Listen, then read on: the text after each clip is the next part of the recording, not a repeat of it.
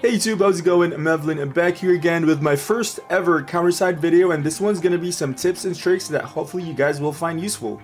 Before we get started, if you're new to the channel and want to support my content, don't forget to hit the sub and like buttons and maybe write a comment and if you do that, I will be your friend for 5 whole seconds.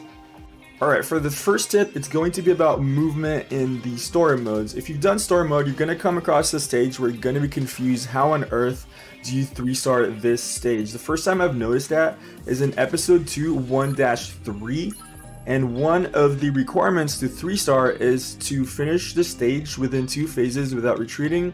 And at first it might seem impossible, how on earth do you start from here and finish here in two phases when your units can only move up to two spaces horizontally? Uh, the way you do that is you actually want to swap your units because swapping units do not cost you anything. You can still move afterwards. Uh, the best way to show this is I guess with an example. For this map specifically, I'm going to put an assault unit in the assault point. Here, I will be using my Gleipnir. If you don't have Gleipnir yet, you could use a Coffin. You do get a Gleipnir for free if you opt to choose a Gleipnir. I, I think it's the better one among the options from the free ticket that you get. So I'm going to be using Gleipnir here as for my example, and I'm also going to be using a Normandy on this slot. Uh, I feel like Normandy is probably going to be carrying you a lot because this movement is so useful in a lot of stages because of the fact that he's an armored ship. So I'm going to put that here, and I'm to put a uh, I'm to put uh, a friend unit uh, you don't need the friend unit here, but I'm just doing that for as an example. So I'm gonna go ahead and start the stage. First move, I'm just gonna go here. I'm gonna skip the mobs because I'm showing you as an example. And if I swap my Normandy with my Gleipnir, you can see that my Gleipnir, who has already taken a turn, cannot move. But since my Normandy has not technically taken a turn, like I said, swapping units is free. It can move another step closer to the goal. And you can do this uh, infinite number of times with infinite number of units. Uh, you can do this over and over again. You can jump around as long as you're switching units. And this is how you move around the map. So I'm gonna move my my uh, Normandy here, and I'm already close to these, the um, the end goal, and this is just my first turn. So this is how you uh, get get around the map uh, faster than you're supposed to. All right, so now my opponents have all finished taking their turn. We are on the start of phase number two. Um, so now my Normandy can go ahead and finish the map by going to this gold square, which will accomplish the win within two phases without retreating uh, task that I needed to do. But do note that I didn't do three or more preemptive strikes, and this is one thing I want you guys to know is that you don't have to do both tasks at the same time. You can go ahead and do one, uh, finish that one, leave, come back again, and do the second one. So here, for example, um, assuming I haven't done this already, I would go ahead and finish the stage here. Um, it's to give me a 2 star because I didn't get 3 preemptive strikes. And then I can go ahead and retry and try to do the pre 3 preemptive strikes and then that will give me a 3 star.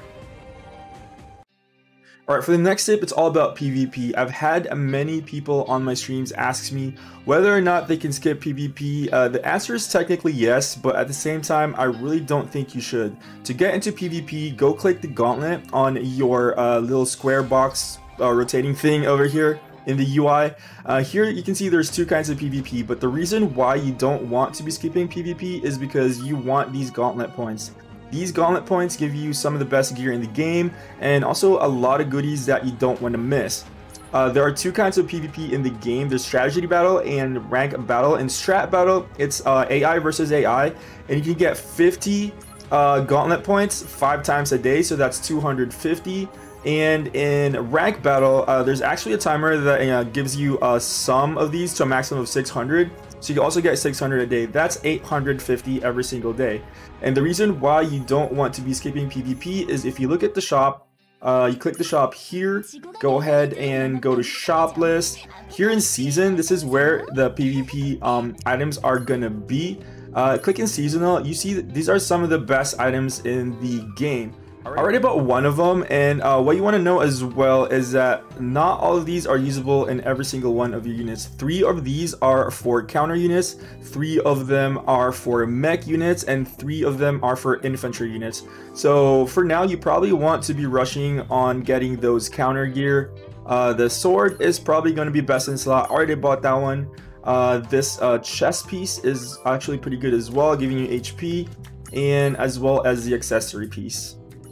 Aside from gear, uh, you can get a lot of goodies from the Gauntlet Point shop, uh, but I suggest getting the gear first, um, especially the counter the counter pieces. Uh, you can get the mech and infantry pieces as well if you got a good mech or infantry unit.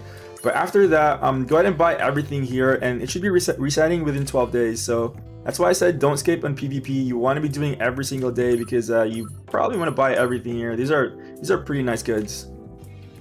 So the next one's going to be about friendship. Uh, make sure that your partners list is full. You have 50 slots total. Um, preferably if you want to fill this with people that you know. If not, uh, people that are constantly online and you know someone that wants to use your team. The reason is that every time you or your friends uh, use each other's uh, units in combat, you get these things called partners business cards, which you can spend in the shop to give you some RNG goodies. So as a side note, every time you go into an operation, make sure that you not only set your team in combat, but that you also add a friend. That way both you and your friend get some goodies. The way you spend these business cards is you go to the shop, uh, go to shop list, change it to the exchange center, go all the way bottom in business cards, and you can buy these things called partners uh, thank you gifts. Like I said, the rewards are kind of small. It's also pretty RNG, but everything in small in this game really helps. Like I'm. Alright, this next one is going to be about your dailies. The obvious one is going to be completing everything in your missions list. Uh, try to do all of these every single day, especially the uh, perform one dispatch mission. This gives you one free summon ticket every single day. One of the less obvious daily missions that you should be doing is doing side stories every single day. So head into operation, go to side story, and you can farm SR and SSR characters here, but they're limited on a daily basis. So in the Orca side story, you can farm Orca three times a day, and you can also farm Eddie as well. He's an SR character. And in the John Mason side story, uh, we can see that we actually have two SSR characters that we can farm. We can farm Jane Doe three times a day as well, and we can also farm Jane Mason three times a day.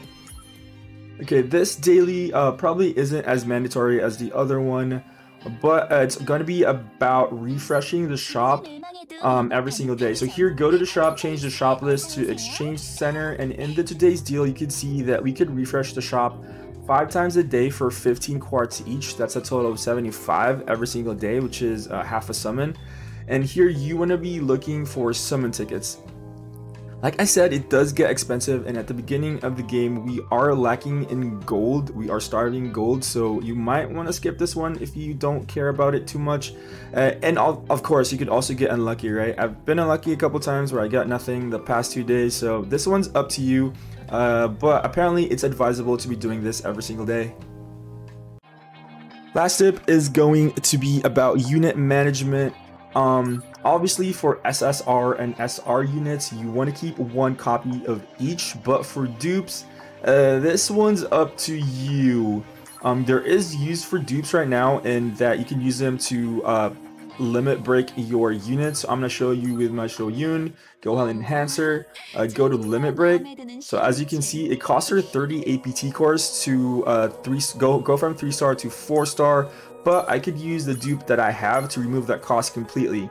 This is currently the best use of dupes right now, but apparently in the future they will be adding Awakening post level 100, and those materials are way more expensive than APT cores. It's still the same system in that you could use uh, dupes to remove the cost of the materials that you needed. But since those materials are more expensive, it's advisable to hold on to dupes for now. But then again, if you do this right now, you are skyrocketing your account further, faster. So you might be stronger now than you're supposed to be.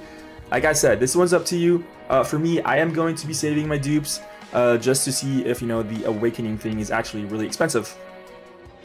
The only R unit that I want to quickly talk about is going to be Eerie, and the reason is that she's actually pretty good and the fact that she's a defender. There aren't that many good defenders in the game and she's probably one of few that works. The other one I can think of is Ryan, but I don't have Ryan, so that's why I'm just using Eerie for now. Another unit that's apparently pretty good is going to be Cindy Looper. Um, but the thing is, she's a striker, and there are pretty good SR and SSR strikers in the game, so I'd say she's easily replaceable compared to Eri, because like I said, there's not that many defenders, so that's why I think Eri's probably the only one that is worth talking about. For normal characters, I don't really bother selling them because they don't give you the currency, and they only give you like 100 gold a pop. For me, uh, I just use my N characters as implants. Uh, they're so easy to farm, they're so easy to get that I don't think this is going to matter anyways in the long run. That's going to be my 5 tips and tricks for Counterside. Hope you guys enjoy the video and find it informative. I'm having fun in the game right now that I'm definitely going to be making a lot more content for Counterside. Uh, I've got a lot of ideas in mind, so you guys should uh, come back for that. But until then, I will see you guys in the next one. Peace out!